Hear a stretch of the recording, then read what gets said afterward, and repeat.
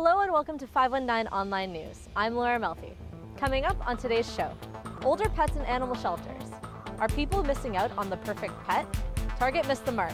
Find out which location is the latest to close. And with spring arriving and many people taking their kids outside, how water safe is your child? All this and more on 519 Online News.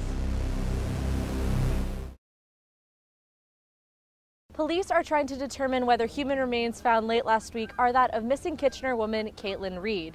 Reed was last seen on New Year's Day but was not reported missing until a month later. Participants as small as three feet are able to don these bubble suits to play the game of bubble soccer without worrying about getting injured.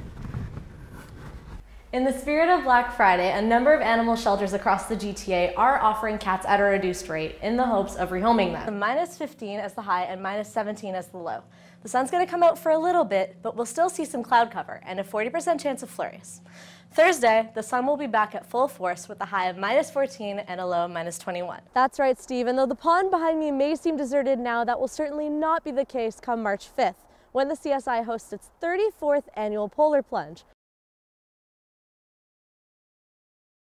Hey guys, welcome to Zany Facts. I'm Laura Melfi. And I'm Zahir Hashimi. We have a fun episode lined up for you today.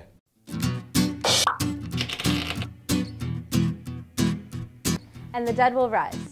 Did you know that in the 19th century, people were buried alive so often that inventors actually created safety coffins? They had built-in mechanisms inside them, so in the event that the person in the coffin was still alive, they could alert people above ground. Mount Wingen, or more commonly known as Burning Mountain, has a naturally burning coal fire that's been burning for over 6,000 years. Have you ever noticed that some of your best ideas come to you when you're in the bathroom? Research has found that you're more likely to have a creative epiphany when you're doing something monotonous, like taking a shower.